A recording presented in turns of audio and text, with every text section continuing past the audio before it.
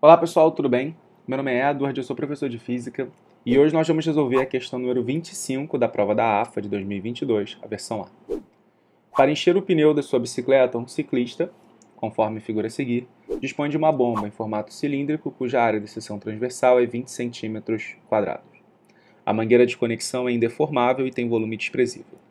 O pneu dianteiro da bicicleta tem volume 2,4 litros e possui inicialmente uma pressão interna de 0,3 atm.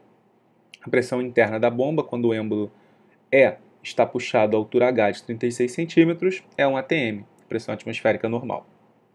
Considere que durante a calibragem o, o volume do pneu permanece constante, processo isotérmico, com temperatura ambiente de 27 graus Celsius.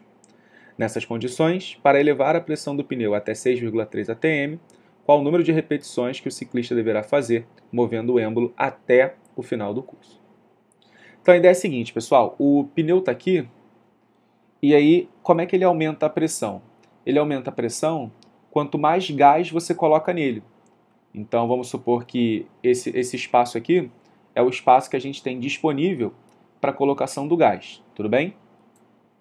E aí, inicialmente, ele está numa pressão de 0,3 atm. Então ele tem uma certa quantidade de gás, vamos chamar de N0, que corresponde a esse 0,3 atm. Conforme você for colocando gás nele, né, proveniente aqui da bomba, você vai aumentar esse número de mols até que você tenha 6,3 atm. Então isso vai ter um certo número n de mols. E da onde vem esse n? Vem da bomba. Tá certo? Então, vamos começar calculando no pneu qual é essa quantidade de mols que nós vamos ter. E aí nós podemos usar que PV é igual a NRT.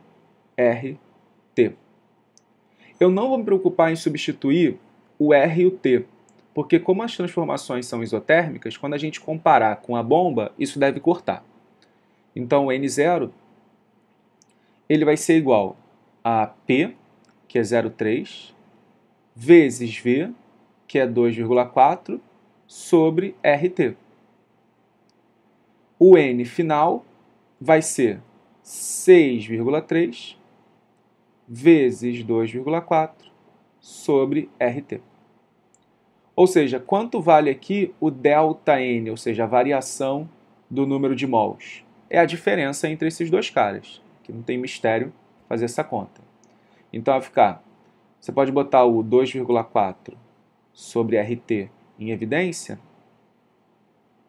e aí vai ficar 6,3 menos 0,3, que é 6. Daqui a pouco a gente volta para essa conta daqui. Da onde vem esse volume? Bom, esse volume ele vem daqui, ó. ele vem do cilindro. Desse volume não, né? esse número de mols, ele vem aqui do cilindro. Então vamos calcular qual o número de mols, chamar de N, do, da bomba. Chamar de NB. E isso vale PV sobre RT também. Só que a pressão é 1 e o volume? Bom, volume é área da base vezes altura, né? Só cuidado que está em centímetros, então é 20 vezes 36 centímetros cúbicos. Só que como a nossa resposta está em litros, então a gente pode passar esse cara daqui para decímetro cúbico, já que litro e decímetro cúbico são a mesma coisa, tá? Em quantidade, né? Então, passando de centímetro para decímetro, é só multiplicar por 10 a menos 1. Ao cubo, 10 a menos 3. Então, isso daqui é para cada vez que você pressiona a bomba. Eu quero saber quantas vezes eu preciso pressionar para ter esse cara daqui. Então, vira uma regra de 3, né? Só para a gente dar um, um ajuste na conta, isso daqui vai dar 720 vezes 10 a menos 3, né, que é 0,72. Repara que o sobre RT você pode ignorar completamente, né, porque como ele tem nos dois, então isso daqui corresponde a 1.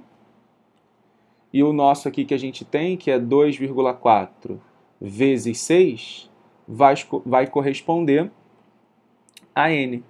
De novo, ignorei o RT porque isso aqui vai cortar. Aí faz essa regra de 3.